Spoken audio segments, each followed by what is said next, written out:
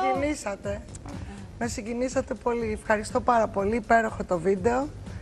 Είναι αλήθεια ότι δεν θα άλλαζα τίποτα στη ζωή μου, αλλά μετά νιώσα που έχω δουλέψει τόσο πολύ και τόσο σκληρά και θα έδινα λίγο περισσότερο χρόνο στον εαυτό μου. Αγαπώ πολύ τη γυμναστική μου που τις, τις ώρες αυτές της σκληρής δουλειάς και τους χρόνους που δεν μπορούσα και έτρεχα και ακόμα τρέχω, ξεκινάω μια εβδομάδα, κάνω και μετά πάω ας πούμε ένα ταξίδι συνεχόμενο, θα πάω να κάνω μια έκθεση τώρα Βουλγαρία, Αλβανία και θα είμαι από το πρωί μέχρι το βράδυ και μετά θα πάω και Κύπρο και βλέπεις ένα μήνα ολόκληρο λείπω και δεν μένω ούτε στο σπίτι μου.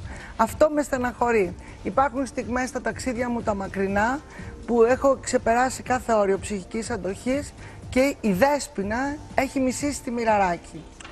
Ε, γιατί με έχει αναγκάσει ας πούμε, να τα κάνω αυτά. Και όπως είπα, έτσι θα το πω και δημοσίως, το ζητώ συγγνώμη από την αδελφή μου. Θα ήθελα να της είχα αφιερώσει πολύ περισσότερο χρόνο στη ζωή μας, στην κοινή και μέχρι τώρα δεν το έχω καταφέρει. Αλήθεια, να με, συγχωρέ, να με συγχωρέσει. Και αυτή είναι η